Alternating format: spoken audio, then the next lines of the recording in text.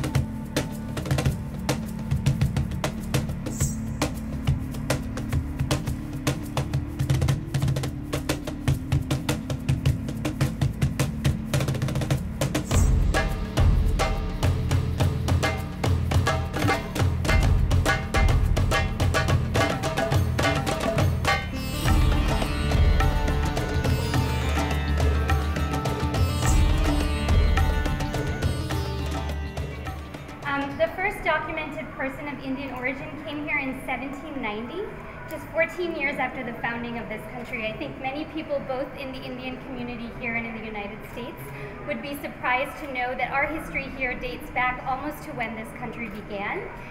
Um, one of the other things that it touches upon is what it's like to be a person of Indian origin working in these particular occupations. And um, this particular section looks at taxi cab drivers, um, looks at physicians and doctors, which is off to my right. Um, also looks at software engineers and why there are so many engineers living and working in the United States. And then on my left, I want to draw your attention to a motel lobby. So if you walk up to the motel, this is the side that you would see if you owned the motel. And if you look through the window, what you'll see is what the public sees when they come to visit the motel. And mostly featured in this section are different works by young and emerging Indian American artists um, who've used their particular art to pose questions, both to the general public but also to the Indian American community about different aspects of identity. And it's meant to be a nice kind of visual and also, um, I guess, emotional emotional contrast to some of the early things that are found in the gallery, some of the large black and white images and the historical documents. This is a section that really um, enlivens it kind of through these particular expressions. And I, I want to point your attention to a particular series of works. Um, these are photographs that are called Unsuitable Girls. Um, they're by a pair of artists that are based in New York called Anjali Bhargava and Swati Khurana. And the things that they're doing in this particular set of prints are taking on stereotypes of gender that are found within Indian American communities. And they're asking questions questions about suitability in terms of like what should a woman behave like, look like, etc. And these are three um, in a larger series of photographs that are calling into question um, these different stereotypes. So we're moving into this section now that looks at cultural contributions um, to the American landscape. There's different types of things. One is this wall that features different hip hop artists and how they've contributed both through their art and through the activism. Up ahead on my right is a section that looks at music and contributions to the American music musical landscape in different genres, including jazz, disco, And you'll notice we've used the thalis in this particular, um, on one side of the table setting, and on the other side are Corelle ware. Um, those of you who are Indian may have seen this particular pattern of Corelle ware or several others. Um, but many Indian immigrants who came to the United States in the 60s and 70s and 80s bought Corelle ware as their particular types of dishes. Some of on to their children when they went to college. Um, this section features a number of different objects um, and a number of different people. Everyone from astronauts to scientists to athletes who've achieved the highest accolades in their sports to artists. So this National Spelling Bee stage um, recognizes the more than 73% of National Spelling Bee winners since 1999 who've been of Indian American origin. It's a pretty remarkable statistic considering that we're just 1% of the US population. And to my left is the trophy of the very first Indian person to win the spelling bee. This is from 1985 and it was won by Balu Natarajan. And actually, you're not able to hear this maybe, but um, above me is a sound cone with one of the champs spelling all of the winning words. And what we're doing is inviting children and adults to be able to come up and take their turn at the spelling bee microphone um, and be part of this, this particular national experience. This particular section was very interesting for me as a curator because religion is a complex topic to be able to treat in a museum. It's often, um, even within any given religious tradition or faith, there are contesting views on how to describe it, how to display it, how to talk about it. Um, so one of the things that we did actually was go around the country interviewing Indian American young people about their faith. We asked them to describe it and we also asked them to talk about what it means to them. And so what you see displayed here on the wall to my right is different quotes of young people talking about their religion in their own voices. And this is really our memorial to Indian Americans and South Asian Americans who've experienced discrimination and violence throughout American history. Um, among the different objects that are represented, I think, is something that still gives me goosebumps when I look at it. And this is the turban of a man named Balbir Singh Sodhi. He was one of the first people killed in an act of retaliation after 9-11, um, and his family generously donated this turban and many of his other personal effects to the National Museum of American History. And it is now part of the National Collection as something that is really a significant moment, not just for him and his family, but for many South Asians um, who've been targeted in various acts of racial profiling and have also experienced violence very directly.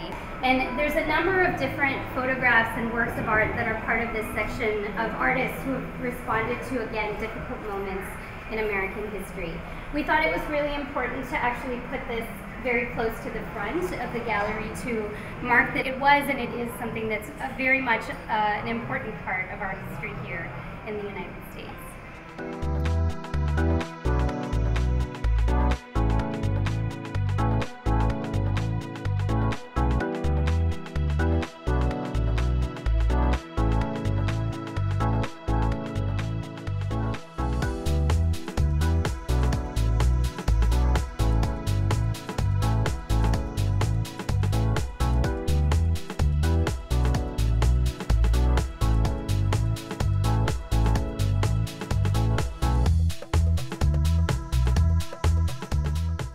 So it came about in 2008. A number of local Indian community members approached the Smithsonian and asked, how about doing something that chronicles the experiences and the history of us here in the United States? And a man by the name of Dr. Richard Kurin, who is the Undersecretary for History, Art, and Culture here at the Smithsonian, himself had lived and worked in India as a researcher, as a scholar, and as an anthropologist. So at that time, the community contributed some resources, and the Smithsonian contributed some resources as well, and the Indian American Heritage Project was born.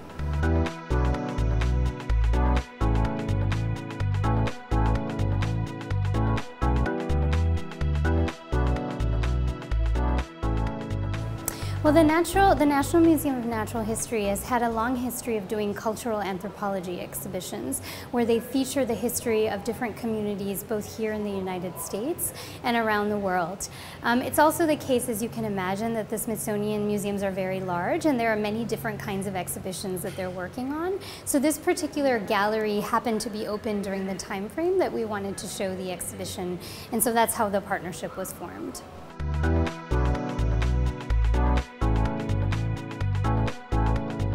Um, some of the festivals are covered in the section on religion and spirituality. Um, we've collected photographs from around the country that um, different religious communities and congregations shared with us. So those festivals are depicted um, in that collage of different photographs, which is in the section on religion in the exhibition.